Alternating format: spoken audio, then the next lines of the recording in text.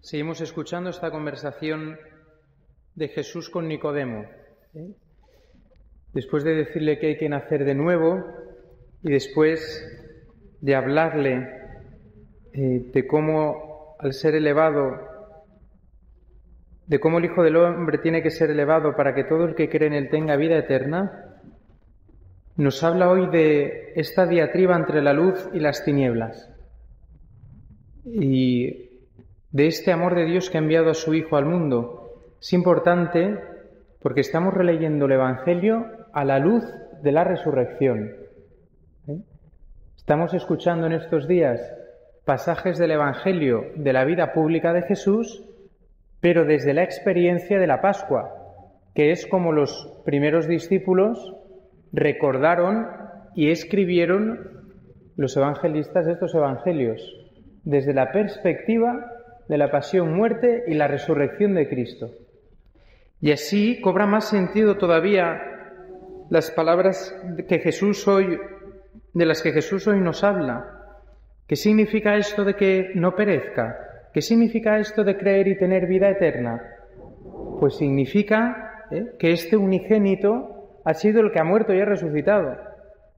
Y que acogiendo esta resurrección de Cristo nosotros resucitamos con Él pero que rechazando esta resurrección de Cristo, rechazando a Jesús, rechazando la luz de la verdad que Él nos trae, rechazando la luz del amor con el que Él ha vivido y con el que nos ha enseñado a vivir,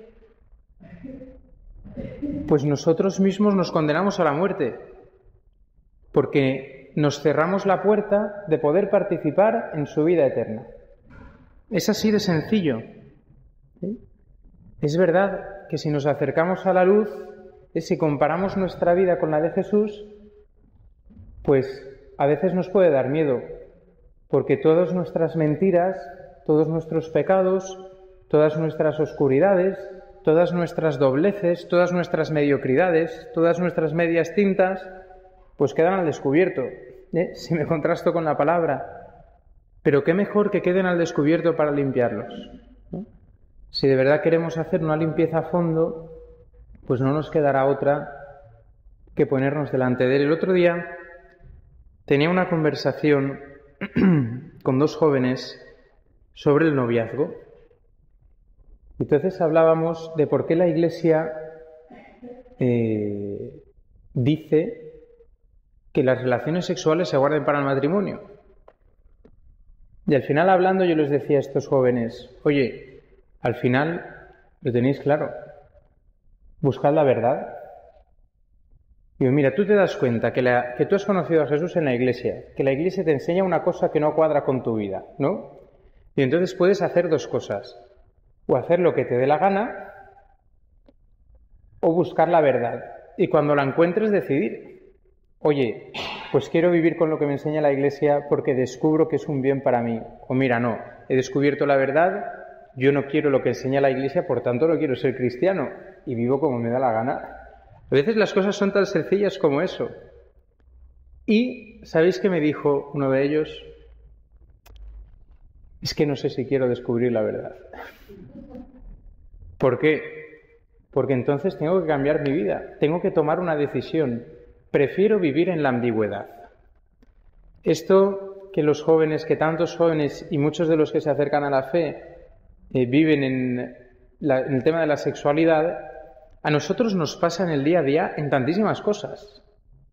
En esta relación con este hermano o con este cuñado que no queremos poner a la luz de Dios, porque preferimos mantenernos en la ambigüedad como si no estuviera ahí y mantener el rencor en nuestro corazón, o no dar un perdón, o no pedir un perdón que deberíamos pedir.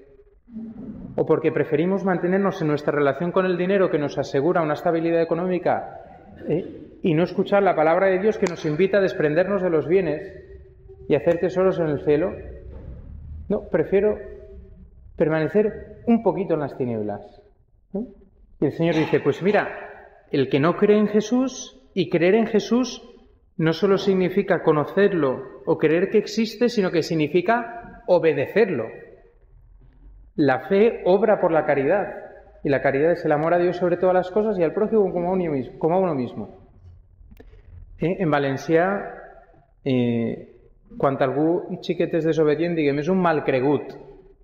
Eh? O vols creure la mare, ara no se diu tant, però sí que se sigue gastant. ¿eh? Ahí sí que vemos cómo el creer no solo es conocer o saber que existe, sino obedecer, ¿eh? entrar en relación con esta, eh, con su palabra.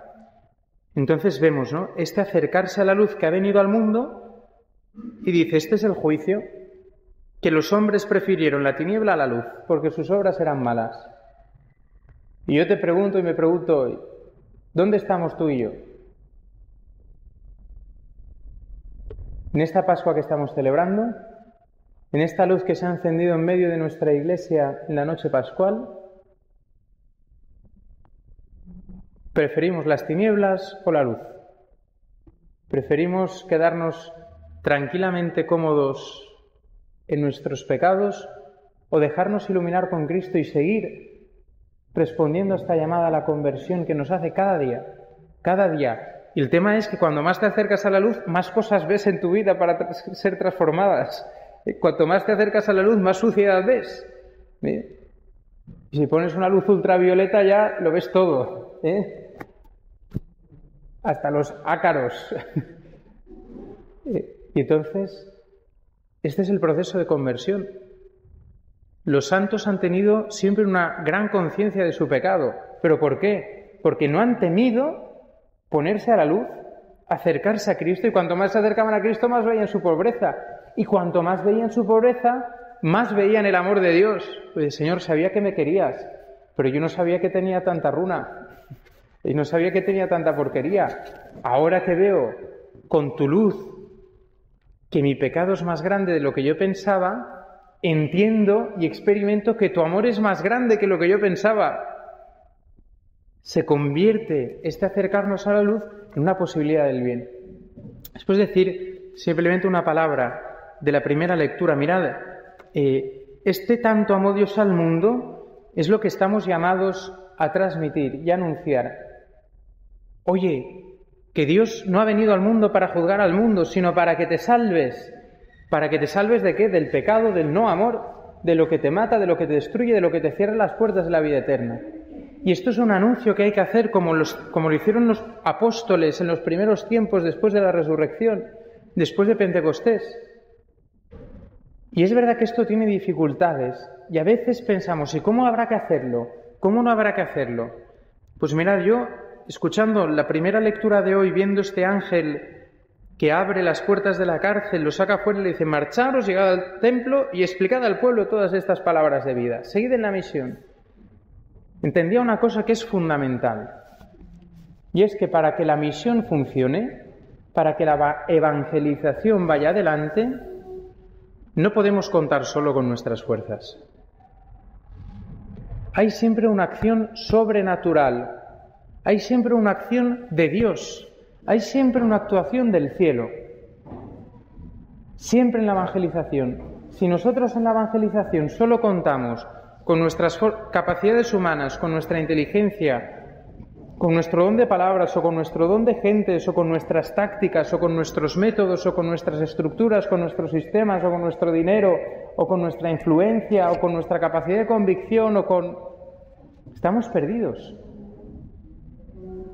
Fijaros si se hubiera acabado rápido, todos a la cárcel, punto, ya no hay evangelización. No, pero hay una acción sobrenatural, hay algo que supera la fuerza humana y es la fuerza de Dios. Por eso, decía el cardenal Bergoglio antes de ser el Papa Francisco, que la evangelización se hace de rodillas. Por eso todos los martes tenemos el Santísimo expuesto en la parroquia rezando por la evangelización. Y por eso es importante que recemos y preguntemos al Señor a quién tengo que hablar, cómo tengo que hablarle, cuándo tengo que hablarle. Señor, cuando me levanto por la mañana, que en la gente que me pongas hoy delante pueda dar testimonio tuyo como tú quieres. Señor, dame la oportunidad, la posibilidad, el momento para poder dar testimonio con mis obras, con mis palabras, con mi paciencia, como tú quieras, pero sabiendo que el que transforma los corazones y posibilita el anuncio del Evangelio es siempre el Señor, y que en la medida en que nos fiemos de Él, cada vez serán más los que puedan experimentar y descubrir este anuncio, que tanto amó Dios al mundo, que entregó a su unigénito para que todo el que cree en él no perezca, sino que tenga vida eterna. Que así sea.